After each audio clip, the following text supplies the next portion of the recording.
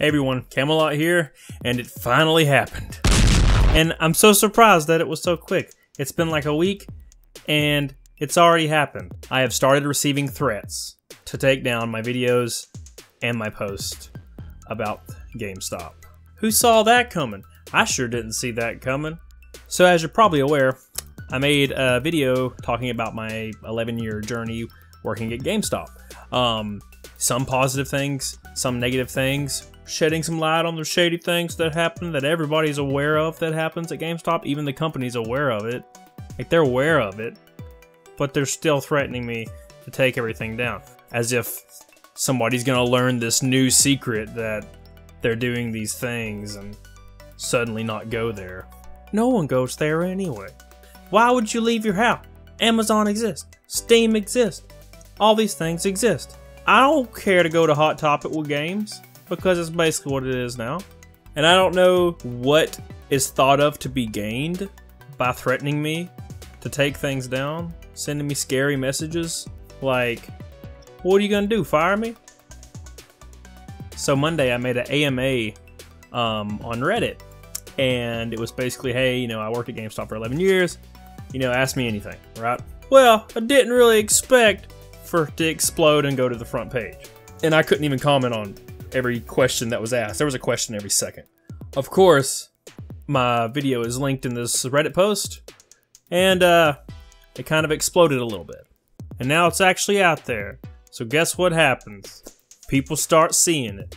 Now what I'm thinking is the people that are messaging me, threatening me, are people that work at GameStop that defend it to the death, which I've never understood. Why defend it? Why defend these practices? That just makes you look like a loon bag, especially when the pay is so terrible.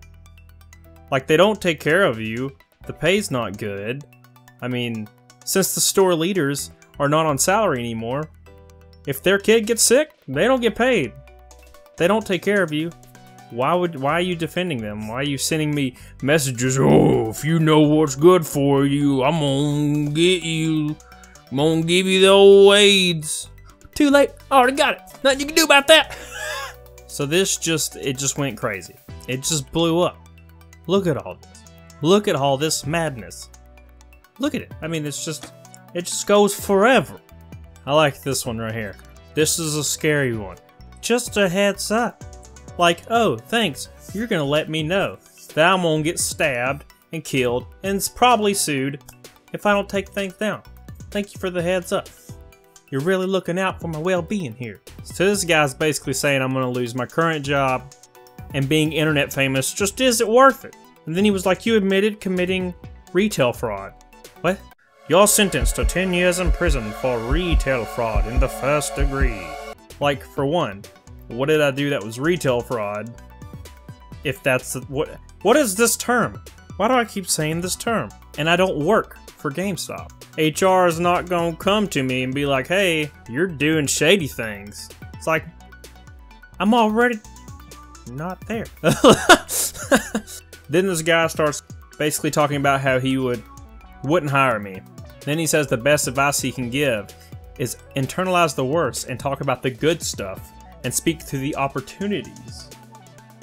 Now, some people were really supportive, right? So I only got a few messages that were super negative, but some of them were redeeming. He said, I watched your video and shouted amen at my screen. He spent seven years at GameStop and his experiences aligned with mine. The constant threats of termination, the excruciating pressure to make numbers, thinking back and reflecting on those years, which he apparently pushed out of his mind, was special. So going to the Reddit post, let's go through a few of these funny comments that people just put on there. Have you ever found drugs money hidden in consoles that were traded in? Yes, several times, and even found porn in DVD cases. So did you smoke or... I mean, no. Was an ASM. Found porn all the time. Pot a few times, even a whole leaf once. Also a 3DS filled with porn. What's going on at GameStop? We have to have a serious talk. You gotta change. If you don't, you're gonna end up dead, and you're gonna have no money, and all we're gonna remember are all the bad things. You gotta get your act together. You gotta get together. What was your best memories? Leaving. Nice. What was the worst game you ever sold? Worst day at work? Well, obviously, the worst game I ever sold was Ride to Hell Retribution. The worst day was, yeah, that day. Because it got robbed. Got a revolver pushed up against my tempo. It was kind of scary. was it the guy you sold Ride to Hell to? oh, God. You would think it would have been. Because that game is a nightmare. Looking at you, Eutechnyx. he offered him $3 store credit. Oh! Don't offer no credit for guns. Because then they'll just use the gun on you. I would not be surprised. Who robs a GameStop, honestly? Some guy uses a revolver, apparently. Oh, what? Do you guys have Battletoad? Yes, we actually did have one when I was leaving. We actually had retro games when I left. Guess you didn't expect that, did you, Vanza? Didn't expect me to throw that in your face. What do you feel is the company's biggest flaw? Do you have any suggestions on how they might fix or mitigate it? Positive reinforcement. I believe so much in positive reinforcement. That's how I lead. It makes your employees want to work for you, not because they have to, but because they want to. Positive reinforcement is something that you should always practice if you're in some type of leadership role, and GameStop was completely void of that. What is your worst customer experience? So this one time, a guy came in and he asked to use the bathroom. I told him, of course, we didn't have a public one because, you know, that's where all of our systems are, in the bathroom. So all those systems you're buying are just covered in piss and poop. So after telling him we didn't have a bathroom, he just goes in the corner and just takes this five pound dump in the corner. It looked like the Triceratops poop from Jurassic Park. Like, it was almost the same size. Looked exactly like it. And it smelled like the middle of Satan's G string. It was outrageous. Craziest story? Hooking up with random people at the GameStop conference? I mean, obviously, right? If you slept with one with a ton of ear piercings and a bad dark red hair dye job, that was my ex. She cheated on me every conference for three years. Wow. Every conference for three years. You think after the first year you would have been like, nah, man. like, oh, you cheated on me at conference with a very attractive tattoo guy? Well, still love you. Don't do it again, though. What was your worst experience with selling an M-rated game to someone who is below 17? he already quit. Leave him alone. They're still trying to come for me. HR's coming in the comment section just to yell at me. It's over. I'm gone. It's fine. How often would someone turn in a console that was dirty and infested? Daily.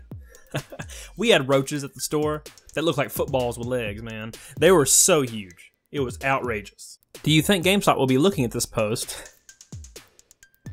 And if they are, what would you want them to know? My point is, look at Publix. You can't get anything at Publix that you can't get at Walmart, yet Publix are popping up everywhere. Why is that? Customer service. That's why.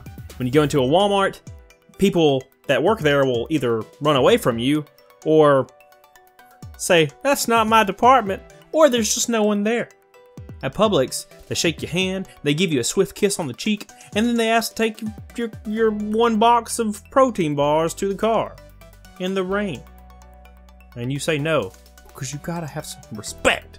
Oh, King Swipe came to join the party hmm. in the YouTube comments. Bro, you were ridiculous. Someone made stuff about you and wasn't true, and you just hand your keys. That's admitting guilt, bro stuff. Bro stuff. I've been with the company for two whole years. Wow, that's so long. Assistant store manager for a whole year. You're basically you're basically the president now. So you you just buy Ferraris every day apparently. And he has had zero of the issues that I've encountered. Our COL doesn't rip the guest off. Is everybody hearing this guy right now? Listen to this guy. COL does not rip the guest off. You're a scum that worked in a scummy, shitty part of the country. Of course, every job has shitty bosses and shitty customers. It's how you handle your shit, man. You're a joke. I'm a joke, man. I'm a joke. And you're painting the company in a bad light for views. No one else has done this. I don't know, closing 200 stores a year, taking your store managers off a salary, threatening to fire people after two weeks because they didn't make COL, which was actually a policy when COL first started. The swap? Trust me, I don't have to paint the company in a bad light. They do that every day themselves. It's like one of those pictures with a snake eating himself, and he's just a circle. That's GameStop. Just putting this out there, the stock was dropping way before I ever said a single word. Oh please, almighty GameStop God, don't come down on me. Don't sue me. I'm so young. I got so much else to do in life. Don't take my life away from me more than you already have. So all in all, the AMA was a success. But I might be shot soon, which is fine too. I'm okay with this. Now I have over a hundred thousand karma. Whatever that means. Can I buy a Ferrari with the karma? How much is karma worth?